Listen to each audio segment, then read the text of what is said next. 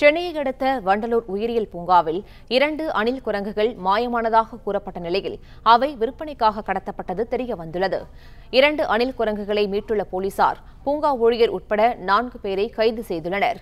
கூடுதல் விவரங்களை செய்தியாளர் ஸ்ரீராம் வழங்க கேட்கலாம். வணக்கம் ஸ்ரீராம். விவரங்களை பகிர்ந்து கொள்ளலாம். வணக்கம் விஷ்ணுபிரியா. சென்னையை அடுத்த வண்டலூர் உயிரியல் பூங்கா இருக்கிறது. இந்த பூங்காவில் ஆயிரக்கணக்கான பொதுமக்கள் தினந்தோறும் பல்வேறு வகையான விலங்குகளை பார்ப்பதற்காக இந்த கால நேரம் அமைக்கப்பட்டு பொதுமக்களுக்கு அனுமதி வழங்கப்பட்டிருக்கிறது. இந்த நிலையில் பூங்காவின் தற்காலிக ஊழியரான சக்திவேல் அங்கு ஆம்புலன்ஸ் ஓட்டுநராக பணிபுரிந்து வருகிறார். அவர் மற்றும் கூட்டாளிகளுடன் இணைந்து இரண்டு அணில் குரங்குகள் விலை மதிப்பில்லாத அந்த அணில் குரங்குகளை திருடி சென்றது தெரிய வந்தது.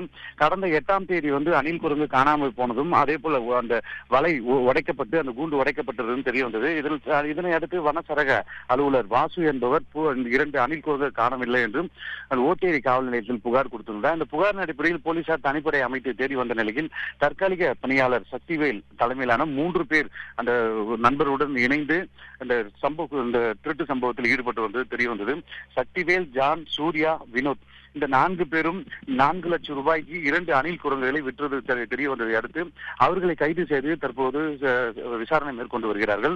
பல்வேறு பாதுகாப்புகள் மற்றும் சிசிடிவி கேமராக்கள் பொருத்தப்பட்டிருந்தும் கடந்த எட்டாம் தேதி சக்திவேல் மற்றும் ஜான் அந்த பகுதிக்கு ஆள் நடமாட்டம் இல்லாத போது அங்கு ஒளிந்திருந்து நள்ளிரவில் அந்த இரண்டு குரங்குகளை பையில் எடுத்துக்கொண்டு அங்கிருந்து செவ்வறு எகிரி குதித்து அந்த குரங்குகளை எடுத்து சென்றதாக தெரிய வருகிறது நேற்று அந்த குரங்கை வேறொரு நபரிடம் விற்பனை செய்வதாகவும் அந்த குரங்கு ந- இரண்டு குரங்குகளும் நான்கு லட்சம் ரூபாய்க்கு விற்றதாகவும் தெரிய வந்தது.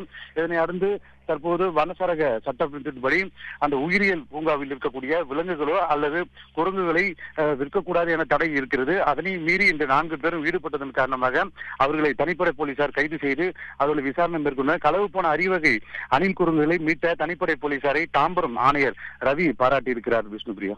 விவரங்களுக்கு நன்றி ஸ்ரீராம்.